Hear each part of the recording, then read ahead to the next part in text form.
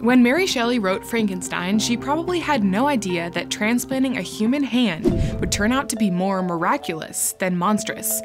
That was two centuries ago. Two decades ago, doctors performed the first double hand transplant. But it's only now that they're declaring success. So why did it take 20 years to claim victory? Maybe because they know that the operation is only half the battle.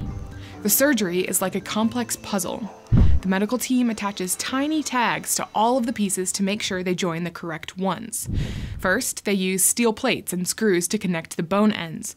Then the arteries, which carry blood from the heart all the way down to the hands.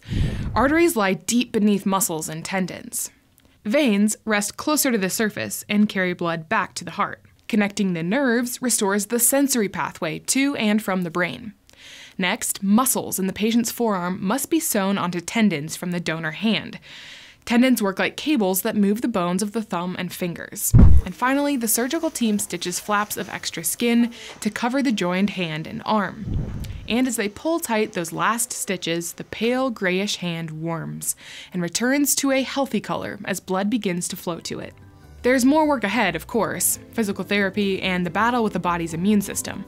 But finally, that medical team can give high fives. Now their work is a proven success.